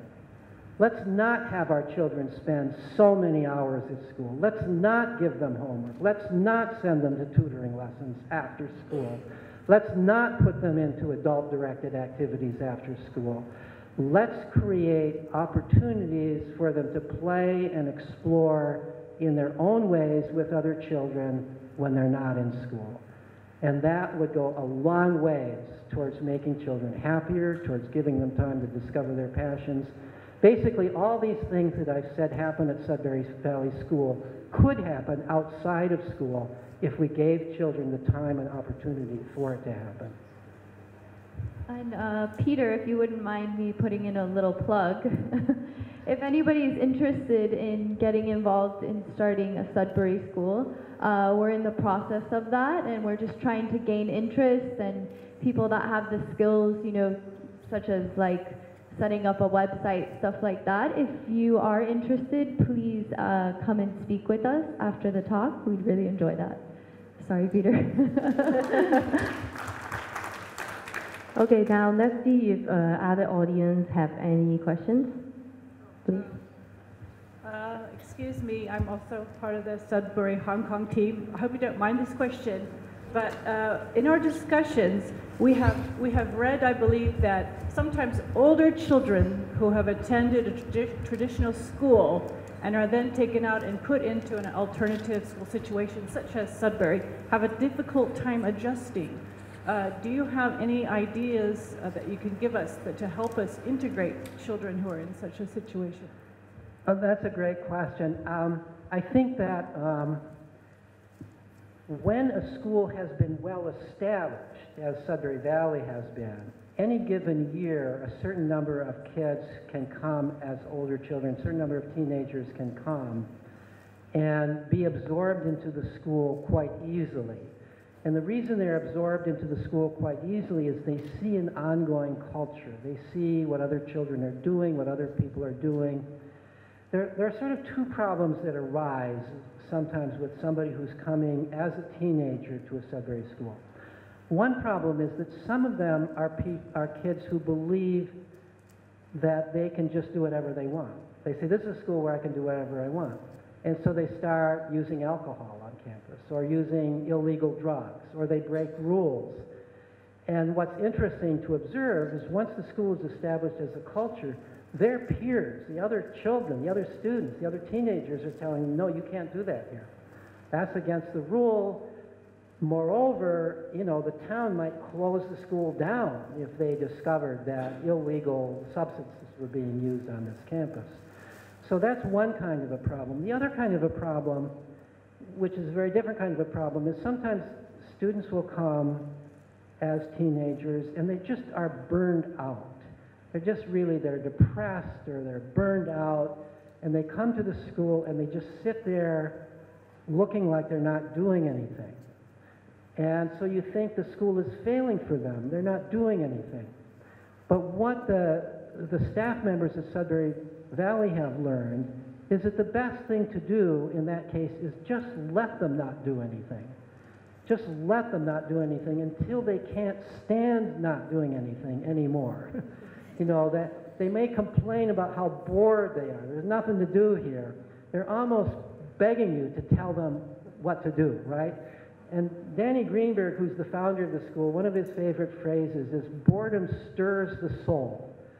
That boredom is let people be bored until they can't stand being bored anymore, and then they begin to do something.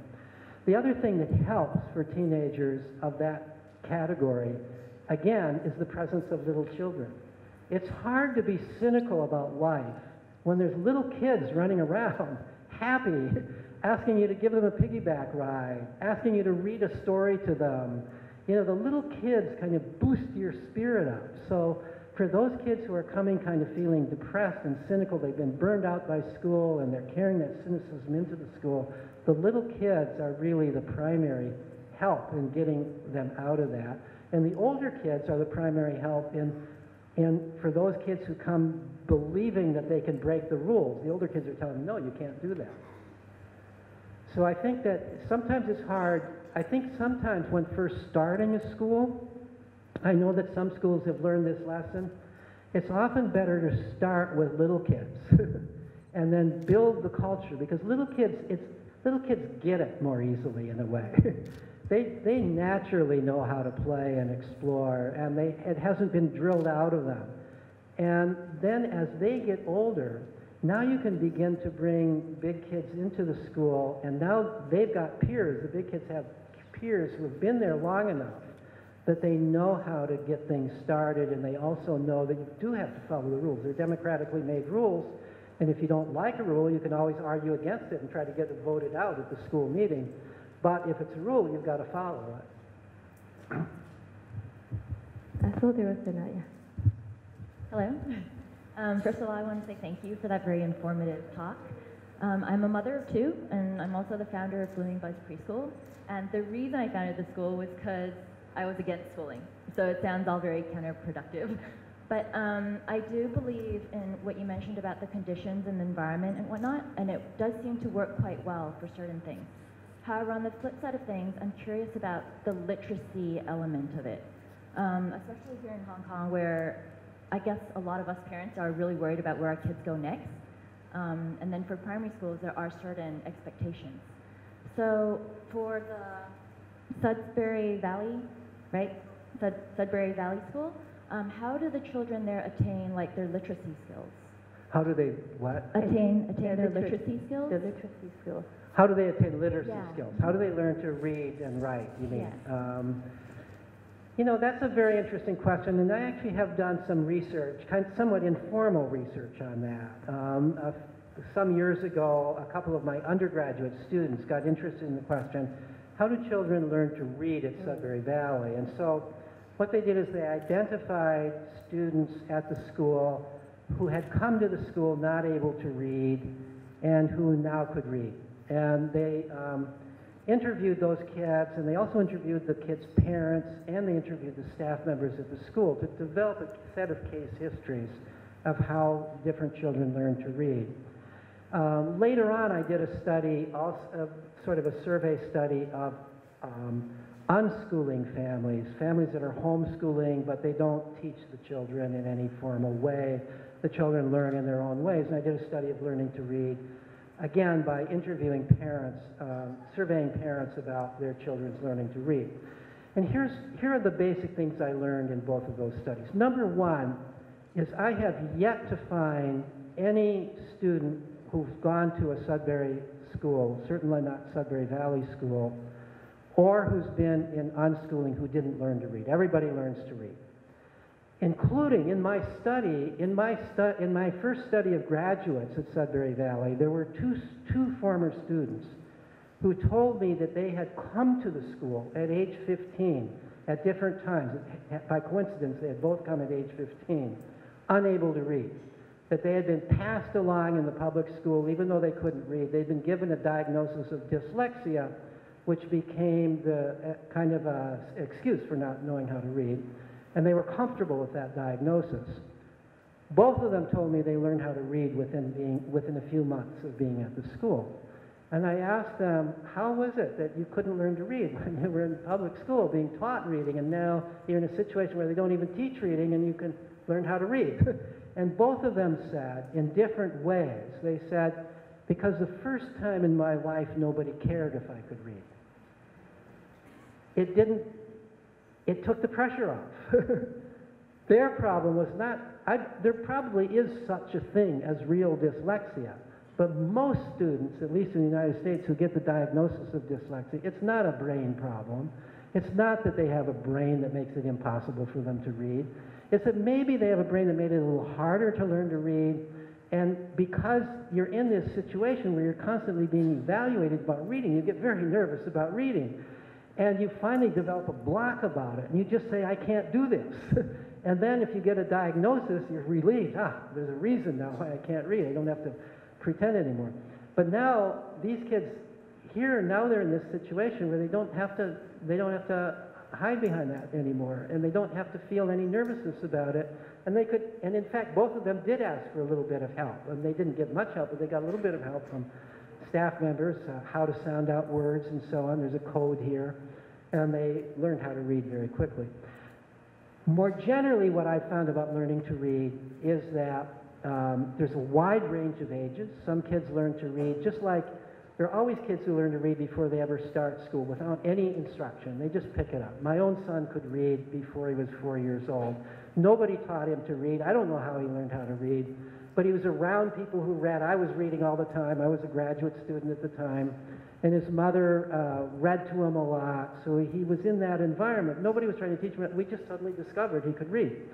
And there are actually studies of such children, and what's generally found is they're not necessarily high IQ children. They're not necessarily brighter about other things. It's just that for some reason they got really interested in reading and they more or less taught themselves to read.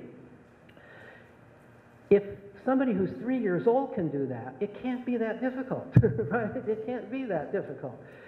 And the difference is so some kids get interested when they're three or four, a few kids do. Some kids get interested when they're seven or eight. Some kids, the latest I know was 14, a kid who didn't learn to read until he was 14, besides those 15 year olds. The other, you know, but who've been in school didn't, didn't really get, they were doing other things. They didn't really need reading. But at some point they decide they need how to read and they learn very quickly. They learn how to read. How do they learn how to read? They learned how to, many of them don't even know how they learned how to read. In some sense, they learned how to read the same way they learned how to talk. They're simply surrounded by the written word. They're hearing people read things. They're maybe being read to and they see the words on the page. Pretty soon, lo and behold, they're reading themselves. They're playing, nowadays, they're playing computer games that have words on the screen. Sometimes kids who can't read are playing computer games with kids who can read, and the ones who can read are reading to them. One of the things that's happened in recent years is children are learning to read earlier than they used to be able to read. Why? Because they're all texting one another. They're, they're communicating with the written word. They're picking up reading in the same natural way that we pick up oral language because they're actually communicating right from the beginning with the written word. So the first thing we have to understand, uh, at least with a phonetic language, I have no idea how anybody learns how to read Chinese. But, but with, a, with a language like English, where it's a phonetic language and there's a certain number of letters, it's not very difficult. There's just a little code there. And the hard thing is learning language, but everybody learns language by the time you're two or three. You've learned the hard thing. Now it's just a matter of mapping that onto the visual page, and that turns out to be pretty easy. We make it hard in school by breaking it down into step by step little processes. You have to do this, and then you have to do that. And by making children do it in a context in which they're not really very interested in it. They're being forced to do it, and that makes it hard. But when we let children just learn it when they are ready to learn it and want to learn it, they learn it very readily and easily. And writing the same thing. These days, of course, it's not writing, it's typing. Nobody writes anymore. So it's typing on the computer, typing on your iPhone. Kids are just picking that up, and they are learning to spell because the spell checker corrects them every time they make a mistake. So writing is easy. In, sometimes we think about, well, how do they learn grammar?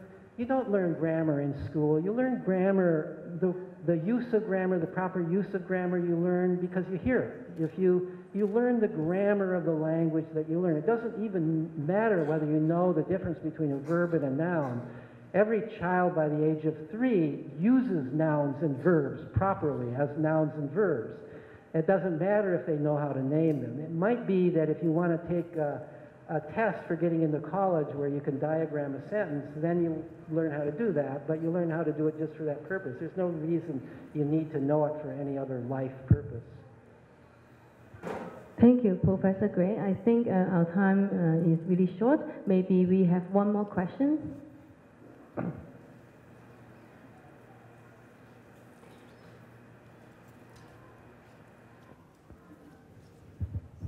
Hello, hello. Hi, Dr. Gray. Thank you for coming. Um, I so we now know your stance on um, public or traditional education versus uh, something like uh, a democratic school.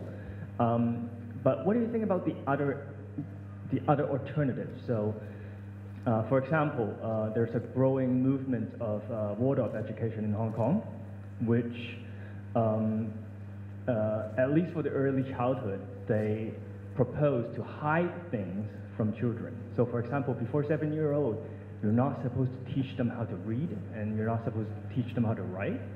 So they, they, they hide things from the children on purpose. So it's like the other spectrum of, uh, of schooling. You know, most of Hong Kong is like, oh, let's push, push, push. Let's let, let, let's let them learn really fast, really early.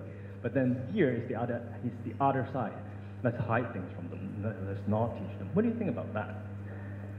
Um, I'm, I'm sorry, I missed some of that. So what, what is the essence of the, of this, of this kind of schooling that you're describing?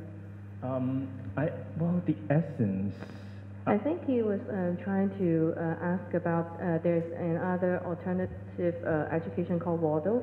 If Oh, you're Waldorf education. And Okay. uh, they yeah, pur- yeah, purposely uh, trying to maybe uh, Right. saying that if a child not not necessarily reaching that certain age, you shouldn't be teaching them how to write or uh, teaching them how to uh, read. So he is uh, thinking about like how, how how you think about that. Right. Yeah, I mean, Waldorf education, um, I have, n- I have never directly observed a Waldorf school. I've talked to Waldorf teachers, I've read about Waldorf, I've talked to people who formerly had their child in a Waldorf school.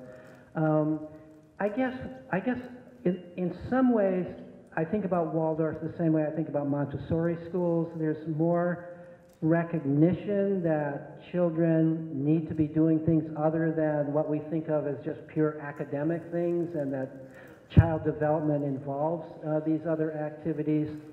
But I think that in very, in, that both with Waldorf and Montessori and some of the other methodologies, there, there's, especially with Waldorf, it's a little bit stuck in time. That the idea that children should be playing with wooden blocks and not be playing with computers, right? Um, because that's what children used to do. um, I knew one parent who was a, uh, who, who was a uh, Waldorf parent. They, they had their children in a Waldorf school, and they were really fully into Waldorf. And one of the at parts of being in Waldorf was that the children should be playing with wooden blocks and these old fashioned toys, and they should not be using computers. So she didn't buy her child a computer. The child was maybe eight years old or nine years old. And then the child had a terrible bicycle accident, almost died. He was in the hospital, and he had to be in the hospital for a long period of time. And they took pity on the child and they bought him a computer so he could play with the computer. And the child, his first words was, it was worth it. it was worth almost dying so I could get this computer. And, and that was when this mother decided Waldorf is stuck in the past. so that's a little bit. And the other thing I think about Waldorf is it's almost like, and maybe this is, maybe I'm exaggerating, and maybe this is not quite true, but it's almost like they discourage a child from learning to read. you know, it's almost like it's wrong to learn to read. And why stop? Why, why if a child who's four years old wants to read, is really interested in reading, why would you prevent the child from reading? So my belief is that whatever the child wants to do at whatever age they want to do it, they know best what they want to do. And they're going to learn best doing what they want to do. So the child who wants to play with blocks should play with blocks. The child who wants to play with a computer should play with a computer. And ultimately, children like to do a variety of things if they're free to do it and to do it in their own ways. And most children are going to do a variety of different things. I just think, I, I think that the basic thing that we have to get over is our belief that we need to control what our children are learning from and how they're learning. That every child is different, and we can't get into the child's head and make that decision for the child. Only the child can make the decision what they're ready for. And, and throughout history, children, throughout most of human history, children have made their own decisions about what to learn and how to do it. And so biologically, they're good at it. But they're, nobody's good at making that decision for somebody else. Oh, thank you. Thank you so much. After the last question. Okay, that's fine. Sorry, I have one question. I'm sorry, I have one um, question regarding the kind of democracy at this um, young age. Do you see a risk there? Yes. Yes, how does the democracy work at such a young age? Yeah, especially when their personal values may not tie to the um, social values. Do you see a risk there? Letting them, letting them choose at that young age? Okay, yeah, no, I think that, I mean, even infants choose, you Yeah, know, in terms of their own choices of what to learn. There's two aspects to this process of democracy. Part of it is the freedom to make your own choices about what you're doing and what you're learning. And I think everybody knows best. You know, one of the things about play is it becomes boring if you're doing the same thing and you're already good at it. Play, you always move to the cutting edge of your ability. You always go to a higher and higher level because it's no fun anymore if you're just doing something you already can do well. So no matter what children are playing, they're always going to higher and higher levels at what they're playing. And they're also, as I said, when I listed all those different ways that children play, children are motivated. They're motivated internally to play in those ways if they've got lots of time and lots of opportunity to play in those ways. The other aspect of democracy, what I thought you were getting at, and maybe this is, wasn't your question, but I'll answer it anyway, is that what about in that democratic meeting where there, people are making decisions about rules, and they're even making decisions at Sudbury Valley, this, the school meeting even decides who are going to be the staff members. They hire and fire the adult staff members. There's no staff member at Sudbury Valley who has tenure. They're all have one-year contracts, and to be rehired, you have to be get a majority vote of all of the members of the school, including the student, including four-year-olds. And so what happens in those meetings, and what I see happening is that the four-year-olds really kind of look to very often to the older people. They're interested in hear, they hear all the arguments. They don't do as much debating. They learn to debate as they go on. But the four-year-olds, first of all, are even less likely to come to the meeting. They're no more, but if they come to the meeting, they're more likely to listen, and they're learning a lot as they're listening. But not surprisingly, most of the arguments, most of the debate is among is being presented by the older children and by the staff members, who are the, after all, the wiser members of the community, and they are more influential in the end in the in the school meeting but still they've got to convince everybody else. And I think that's very healthy, that everybody needs to be, I might believe, I might be a staff member, and I believe that we should have a rule that if you take out some toys, you have to put them away. And I will argue that it's really important to put them away, but in, unless I can convince the majority of students that that's a decent rule, that rule won't pass. So I have to be able to explain why this is a rule that would benefit everybody. so that's the, that's the way the democracy works.